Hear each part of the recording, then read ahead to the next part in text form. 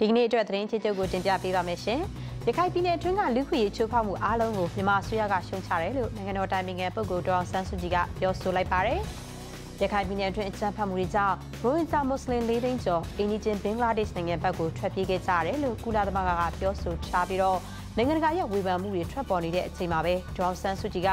ရခိုင်အရေးအပါအဝင်တိုင်းပြည်ရင်ဆိုင်နေရတဲ့စိန်ခေါ်မှုတွေနဲ့ပတ်သက်ပြီးတော့ဒီကနေ့မိန့်ခွန်းပြောကြားတဲ့အချိန်မှာအဲ့ဒါလိုပြောသွားတာပါ။ မြန်မာနိုင်ငံအနေနဲ့နိုင်ငံတကာရဲ့စစ်ဆေးတာခံရတယ်လို့လည်းဒေါအောင်ဆန်းစုကြည်ကပြောဆိုသွားပြီးတော့လူခွင့်ရေးချိုးဖောက်မှုတည်ငြိမ်ရေးနဲ့တဟဇာတာဖြစ်မှုကိုဖျက်လို့ဖျက်ဆီးလုပ်ရက်တွေကိုတရားဥပဒေပြဋ္ဌာန်းချက်တွေနဲ့အညီအရေးယူသွားမယ်လို့လည်းအာမခံပြောကြားသွားပါတယ်ရှင်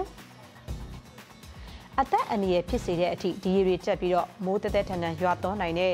ပြင်းအားအဆင့်5ရှိတဲ့ဟာရီကိန်းမုန်တိုင်းမာရီယာဟာကာရီဘီယန်ကျွန်းနိုင်ငံဒိုမီနီကာကို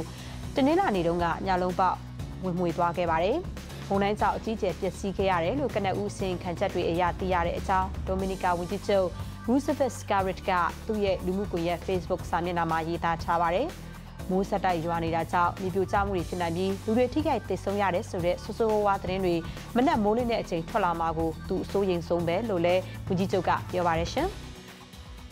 ကုလသမဂ္ဂထွေထွေညီလာခံမှာအမေရိကန်သမ္မတဒေါ်နယ်ထရန့်ဒီနေ့အင်္ဂါနေ့မိန့်ခွန်းပြောတဲ့အခါမြောက်ကိုရီးယား၊အီရန်နဲ့ဗင်နီဇွဲလားနိုင်ငံတွေကိုပြင်းပြင်းထန်ထန်ဝေဖန်ပြောဆိုလိမ့်မယ်လို့ခန့်မှန်းထားကြပါတယ်။မြောက်ကိုရီးယားရဲ့အန်ဒရဲနောက်အမေရိကန်ရဲ့လုံခြုံရေးနဲ့ကုလသမဂ္ဂအဖွဲ့ဝင်နိုင်ငံအားလုံးရဲ့လုံခြုံရေးအပေါ်မှာချင်းချမှုတွေနဲ့ပတ်သက်ပြီးတော့အပြင်းထန်ဆုံးသုံးလုံးပြောဆိုလိမ့်မယ်လို့လည်းဒီအမေရိကန်သမ္မတအိမ်ဖြူတော်အရာရှိတူကသတင်းတောက်တွေကိုပြောဆိုထားပါတယ်။ဒီနေ့အတွက်သတင်းချင်းချုပ်ကိုတင်ပြပေးခဲ့တာပါရှင်။